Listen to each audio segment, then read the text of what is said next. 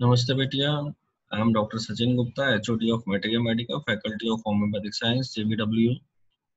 Today I am teaching you Materia Medica Practical Hydrocotyle Asiatica Medicine.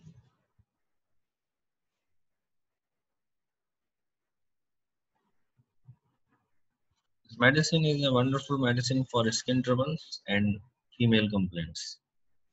In the skin troubles, there is a main symptom of exfoliation of skin.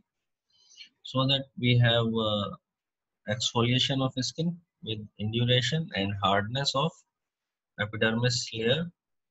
And this exfoliation is uh, in the scaling. And big scales are present in this medicine. Big patches of scaly eruptions. Eruptions are irregular in shape. So that all diseases where we can see big patch of uh, scales. We can use this medicine beneficially. There is a defective epidermis epidermoid layer the hydrocotyle a. In short it is called as hydrocotyle a. And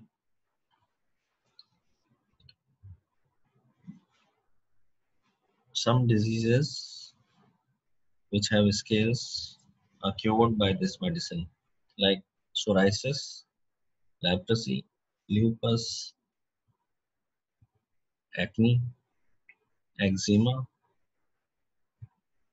and elephantiasis, syphilitic affections. So these are some condition in which this medicine is act beautifully. In the psoriasis, it is helpful in the psoriasis gyrate condition, where there is a small, uh, there is a big uh, round patches in the on the trunk and extremities, which have thick scales and excessive itching. This is a aggravation by profuse sweat if there is sweating, symptoms are aggravated. In the hydrocotyle A, there is a profuse sweat. And in the hydrocotyle, there is uh, some eruptions like uh, eruptions of uh, rashes, eruptions and rashes of sweating, which is also healed by this medicine. In the female section, there is a inflammation in the vagina, in the cervix. It is also useful in the cancer of cervix.